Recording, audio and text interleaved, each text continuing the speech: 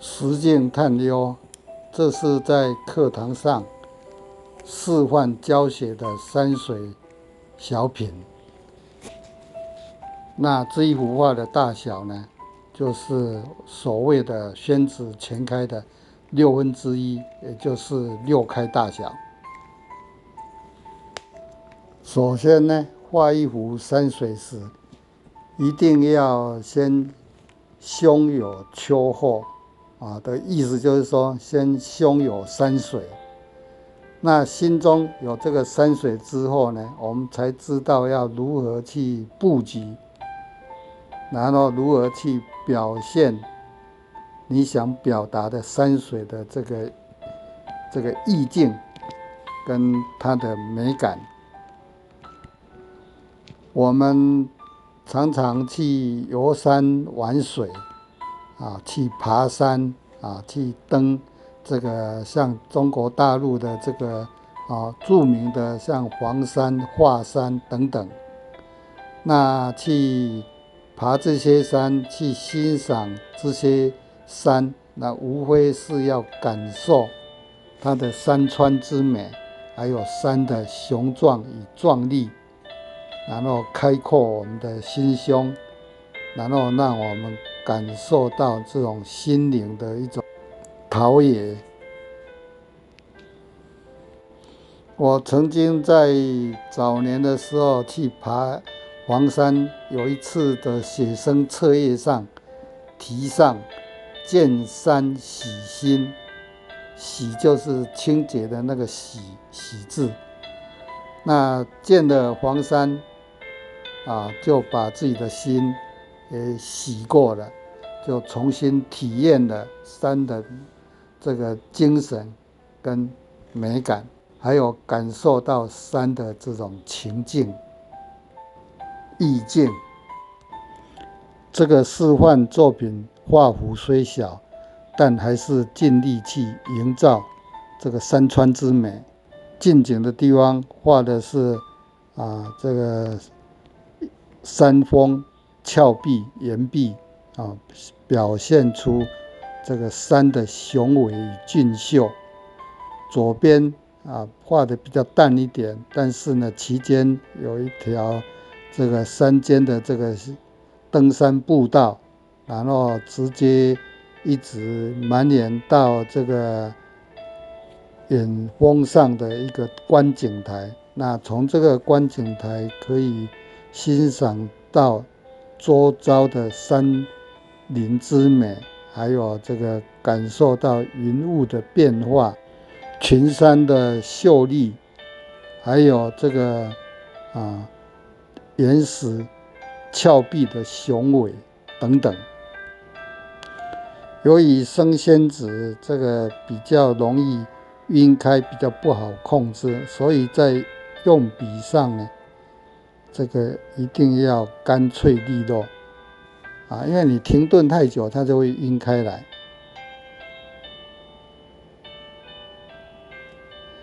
在这个用笔上呢，我们很讲究这个啊，要连成一气，要这个一气呵成啊，就像写书法一样，讲究行气。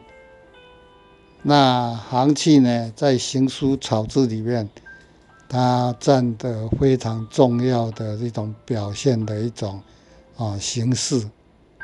它的意思就是说，我们沾了墨以后，刚下去会比较湿，再来慢慢变干，然后这个线条的粗细的变化啊，这个要连贯。而且要有变化，不能线条都是一样粗细。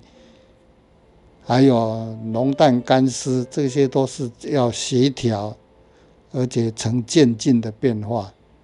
所以呢，我们在春插的时候，这也是一样，跟写行书草字一样，这个线条上也是要有行气，一边春一边插，因为绘画上的表达，它更复杂一点，它还有各种不同的用笔的技巧跟表达的方式，更复杂。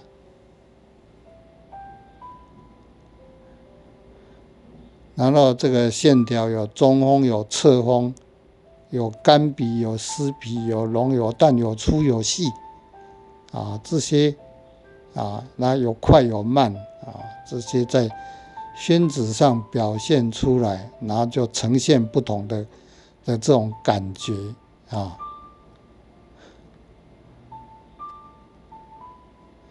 那这种感觉无形中就把这个原本这个死板板的石头，啊，让它灵活起来，啊，让它会说话，意思就是说，让他能够诉说出这个不只是石头的这种啊简单的这种形式，还有这个表现出整个山石的这种。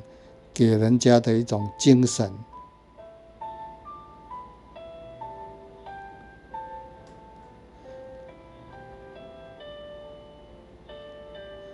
有春有差，线条有粗有有细啊。那这个这个岩石呢，它就呈现不一样的这种质感跟风貌。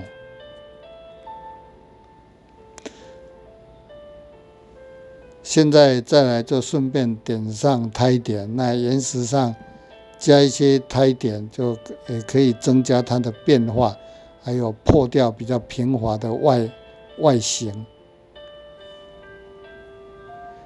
那山石岩缝之间，那有时候会长有胎槽之类的，啊，这些都是自然界啊自然的这个现象。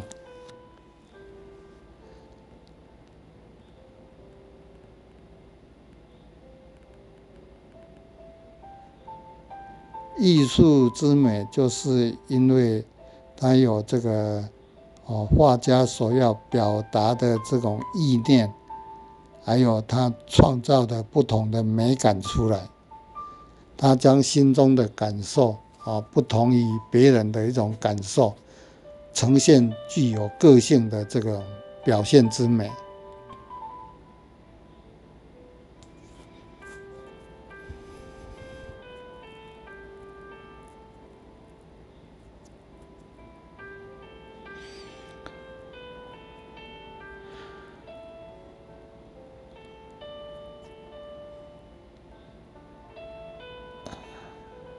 所以，这个国画的笔墨线条，在这个画面上的表现，它必须具多面性的，而且要有不同的这个处理的这个变化。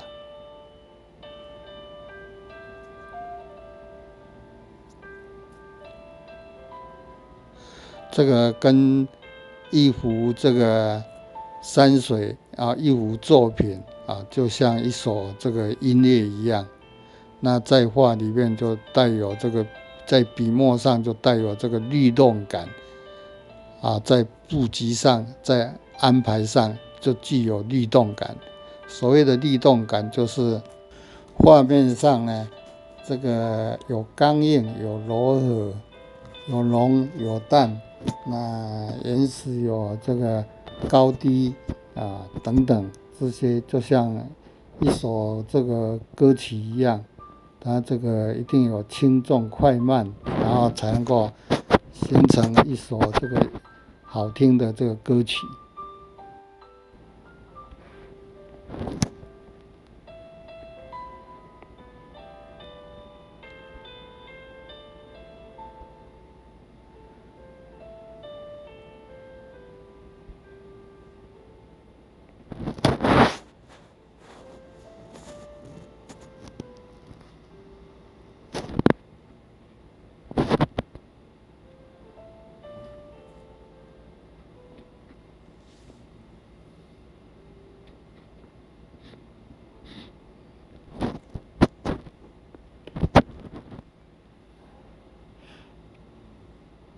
我们这个视频的解说都是重新再、再重新再解说，所以要花，当然要花一些时间来解说。因为课堂上毕竟比较嘈杂一点，然后跟绘画无关的这个杂音会比较多，所以我们尽量就是，哎，有时间就配音解说，那没时间就是配个乐，或者都不配乐，啊，敬请这个观赏者。呃，必须理解，因为制作一个视频要花很多的时间。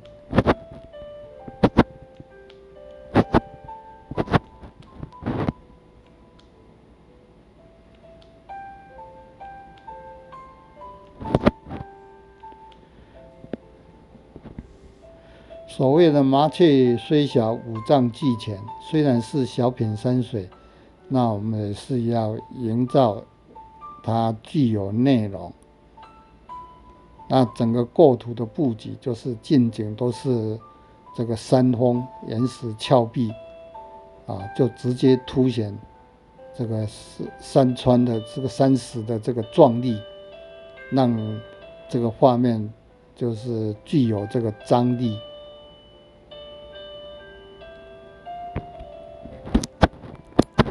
然后再对比出这个。远处的这个山径，还有观景台，啊，拉出远近的距离，空间感。那画面呢，像传统国画都必须要留白，因为不留白也不行，因为在处理上它比较没有这种啊空间的远近层次空间的变化。那我们现代国画要具啊，要表达的，也要考虑到它的层次，还有远近空间的处理，所以留白并不是绝对的。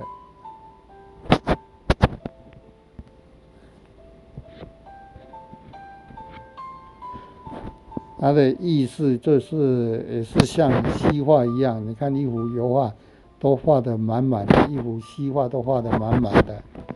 但是你说它会很闷吗？不会啊，因为为什么？因为它有层次，有空间感，远近的空间感。所谓的空间感，并不是只有留白才能够呈现。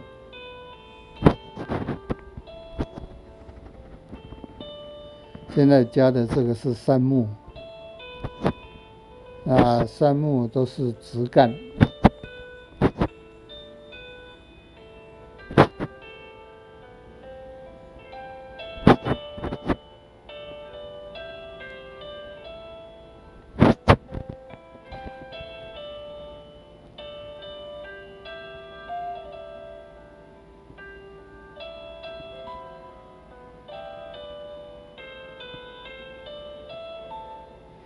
那加速的时候，不止只有在这个山山顶上上上头的地方加，那有时候近景的那个岩缝之间呢，近的地方也要加，这样的话才合乎情理。啊，不然山都是种在零线上，这个是很不真实的。当然，零线上更可以凸显出这个树木的形状。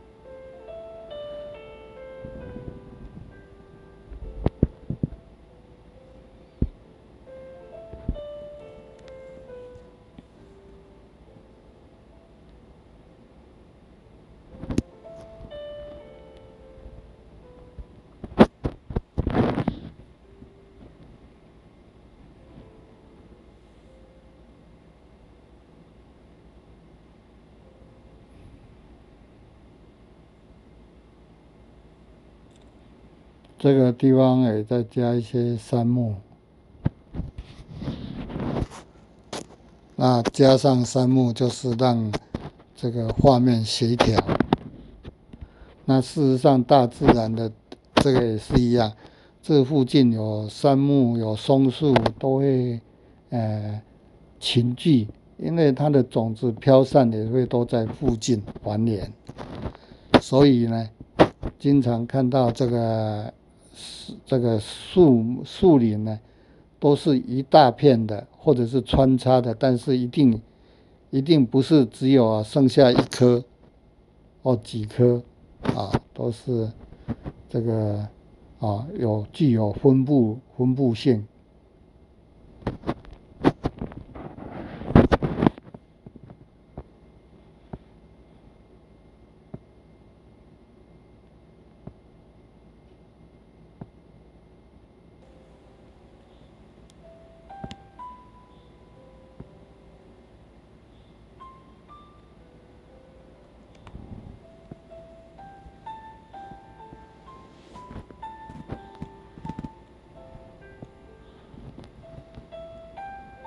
这些这个穿插的线条，就可以表现出这个山它的岩壁峭壁的这个纹理跟肌理。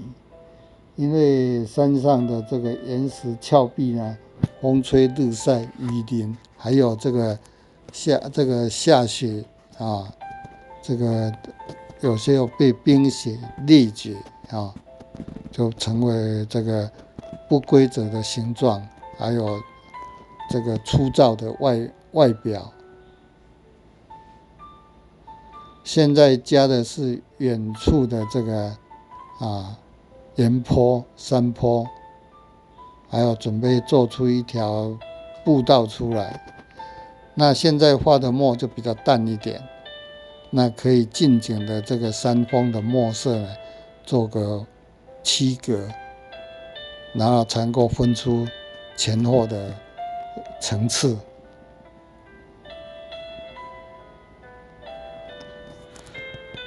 这个画在纸上呢，湿的时候都会比较浓一点。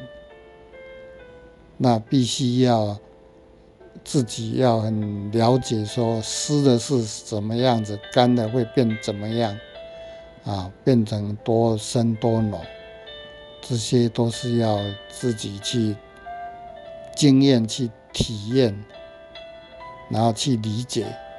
因为呢，每每一张纸、每种纸都不大一样啊。它这个牵涉到这个就叫呃醒墨跟醒色的问题啊。加一个醒就是提醒的醒，意思就是说啊，干的、湿的差距不大的。就称为比较醒目或醒色。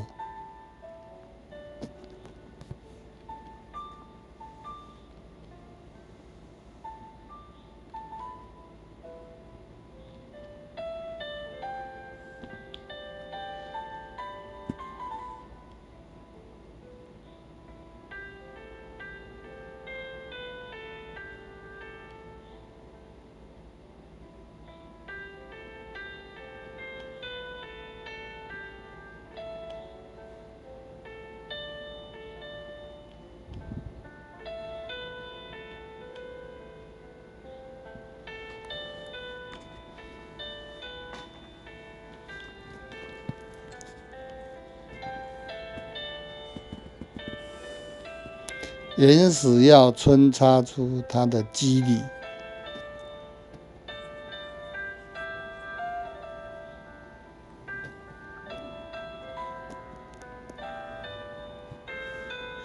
然后整个的笔法就是都要协调。啊，同样一幅画里面，它的笔法一定要要协调，也就是说笔墨要协调。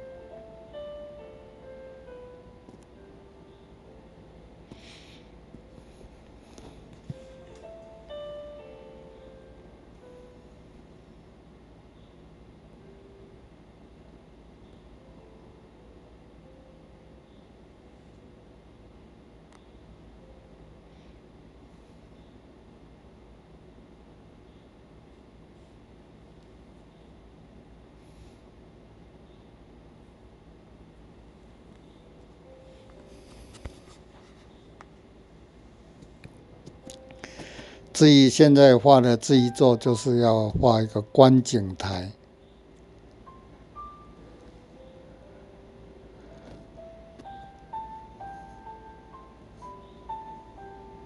那再来就是要处理出这个啊曲折而上的这个步道。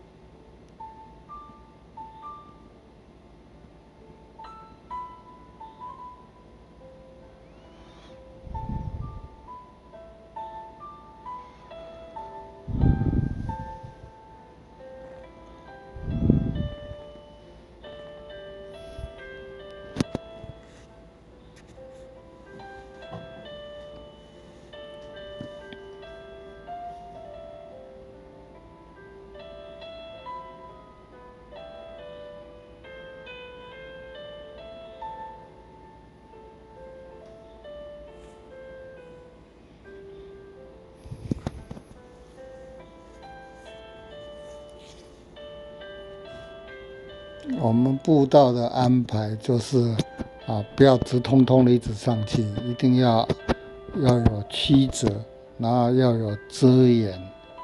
你看我们这个步道就是这个旁边这最左边的山峰就遮掉一部分啊，让它这个若隐若现，然后在右边的地方的山峰又遮掉一些。就是让让人感觉隐隐约约啊，不要平铺直述。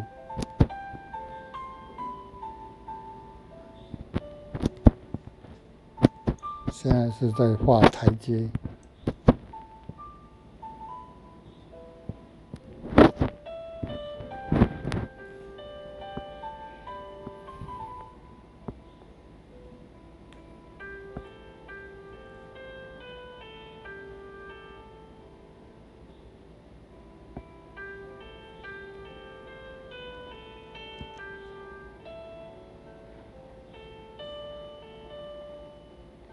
先画这个上面的栏杆，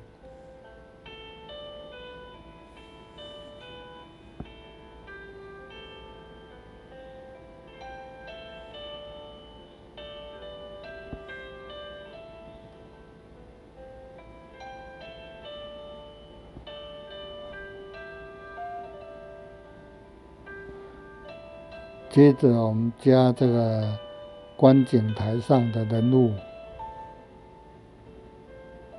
那很远，当然人物也是很小，而且不要太浓，要淡。那小跟淡都可以把它推远。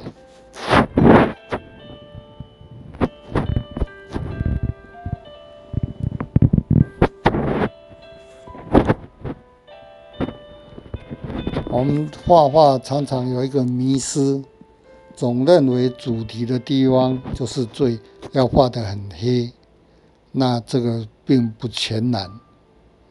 主题的地方，假如说能够这个啊画的又黑，对比又强烈，又啊比较浓的地方，当然这样的来表现的话是最单纯、最简单。但是比较不好表达的就是这种比较。啊，这个既有这个啊引导式的主题，或者衬托式的主题，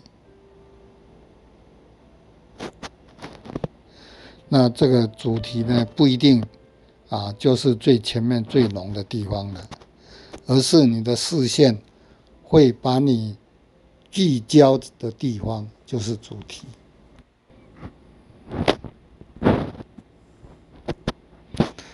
现在再加了一些杉木，后面的杉木就画的淡一点，然后前面的杉木比较浓，那杉木之间呢，杉木林就有浓淡的层次，那这样子看起来就会很浓密的感觉。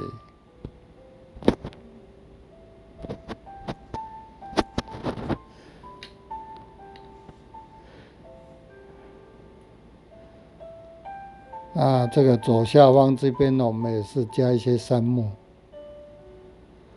那这样可以上下呼应，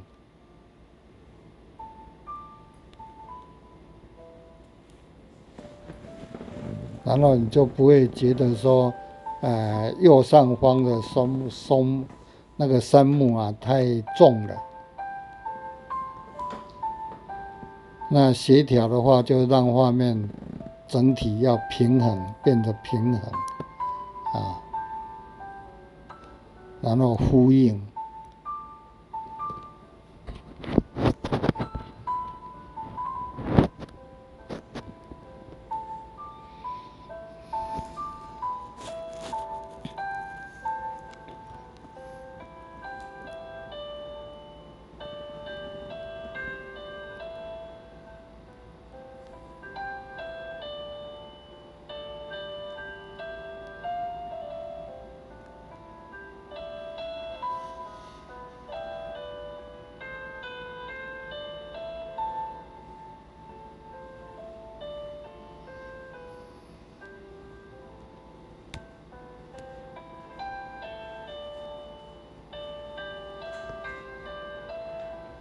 这个地方我们留了一一个登山步道，短短的一小节，主要带引到上面的这个观景台。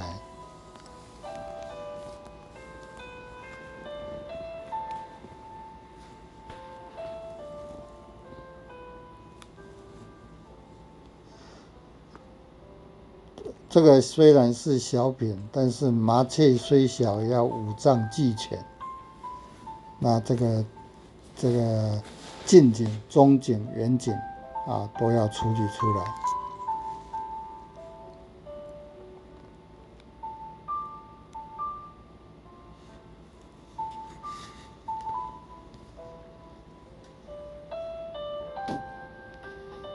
现在是细部的修饰。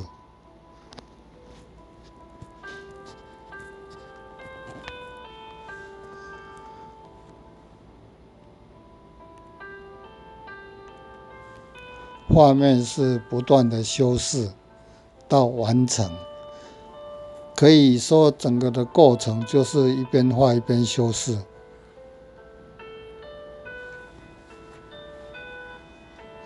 现在再来就是加松树。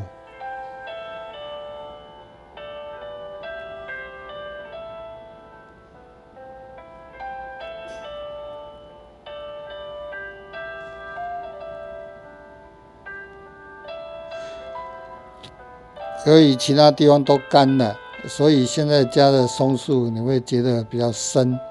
那事实上干了以后，会跟那些杉木差距就不大了。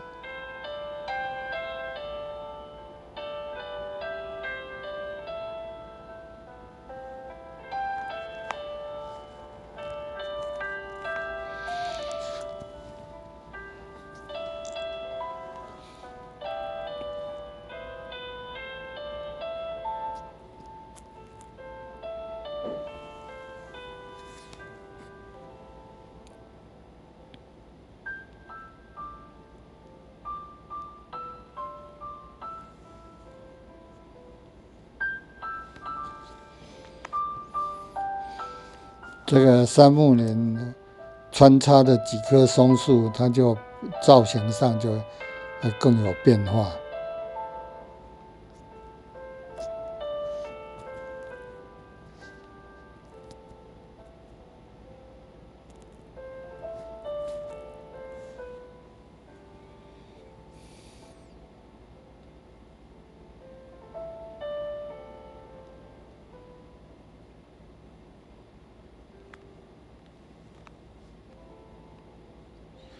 这个是近景的松树，所以墨色也跟的比较浓一点。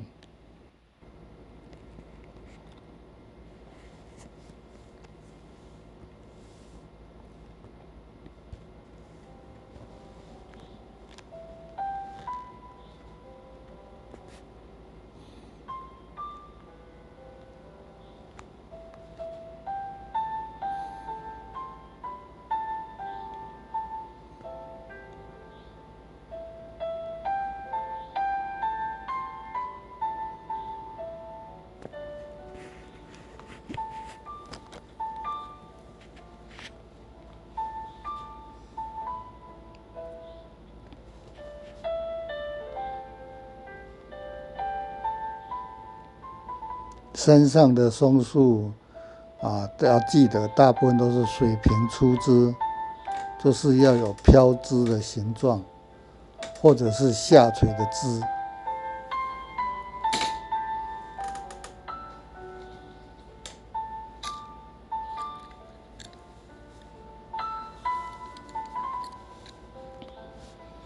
左下方的这个啊山峰旁边的这个松树，就画的再大一点。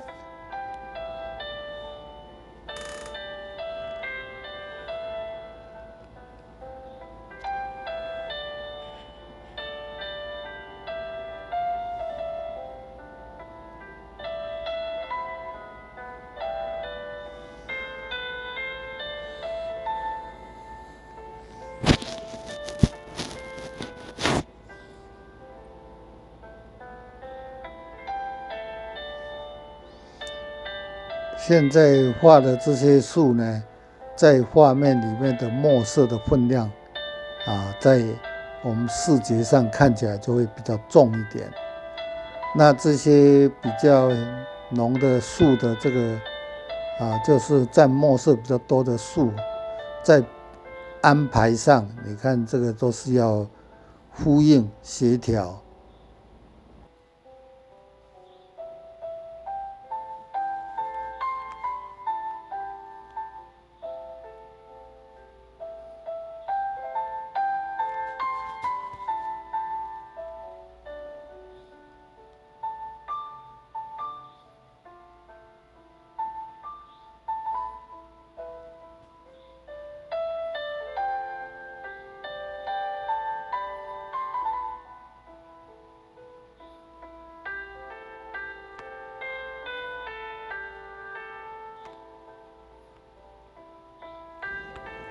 这个近景的地方，我们再补上松树。这个松树就画的比较大棵了。那主要画了之后，就跟上方的这个松树啊，啊比较呼应一点。然后这样让这个下方的墨色感觉上重一点，那可以更让画面更平稳，更有稳重感。那更可以呈现出这个山的这个雄伟。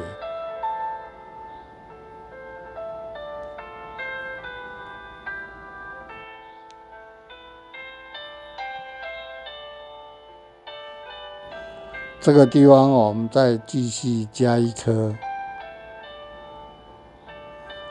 因为这个凸出来的岩壁比较白一点。那再加穿插这一颗的话，啊，就让这个这个凸出来的这个岩石的这个位置呢，啊，增加了它的变化，也就是破掉比较亮的这个地方，再增加下方的重量分量，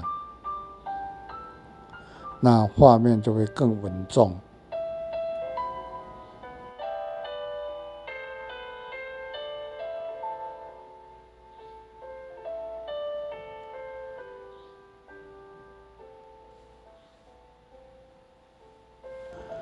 这一集我们就是笔墨完成，那请继续收看下一集，就是染墨跟染色完成。